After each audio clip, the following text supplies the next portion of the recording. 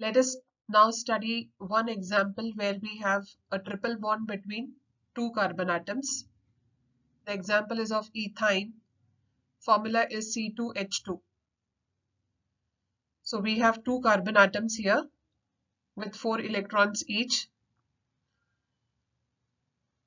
The two hydrogen atoms are placed in such a way that one hydrogen is attached to carbon atom number one here and the other hydrogen is attached to the second carbon. Hydrogen has one electron in the valence shell.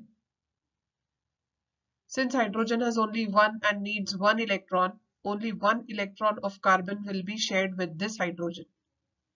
Similarly, one electron of carbon will be shared with this electron of hydrogen. So with this, the duplet of hydrogen is established. But the octet for the carbons is not yet established. Each carbon is now left with three more electrons. So this carbon also has three electrons. So if the two carbon share one pair of electron, will the octet be established?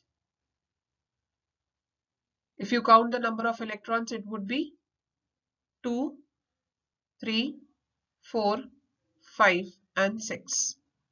Same is the case with this also. But octet is not established. If it shares one more pair of electron with this carbon, then the total would be 2, 3, 4, 5, 6 and 7. Still the octet is not established. So carbon will share the remaining one electron with the electron that is present in this carbon. So in all, between the two carbons, there are three pairs of electrons which will be shared. So if three pairs of electrons are shared between these two carbon atoms, only then the octet would be established.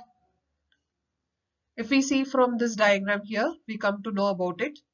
So you have the two carbon atoms with the overlapping region here three pairs of electrons you can see or six electrons being shared between the two carbon atoms. And here you have one pair of electron between hydrogen and carbon.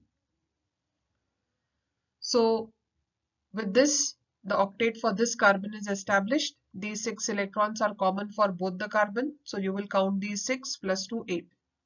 Similarly for this carbon, six and these two from here. So again 8.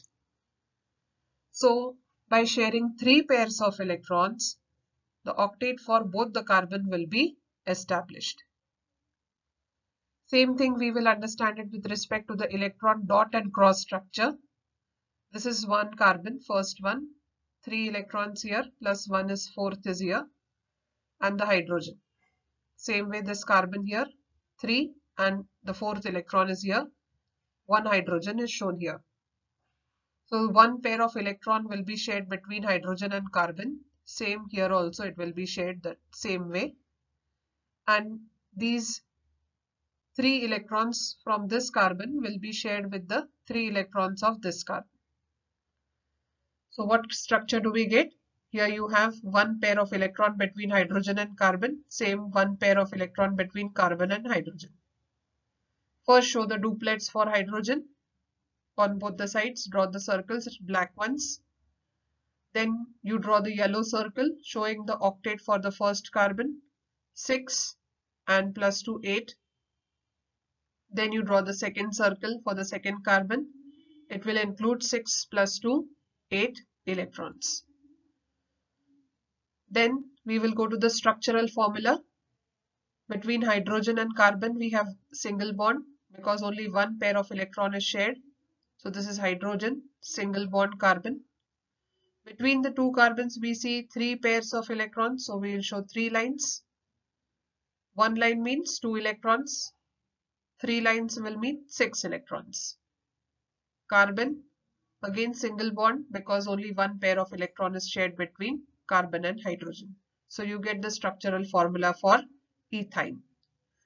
That is C2 H2 and there will be a triple bond between the two carbon atoms. So with this we come to the end of single bond, double bond and triple bond examples and uh, between two carbon atoms. One example of each we have studied and uh, we will conclude our session today and remaining portion we shall take up tomorrow. You must draw all these electron dot cross structures, structural formulas in your notebooks. Thank you.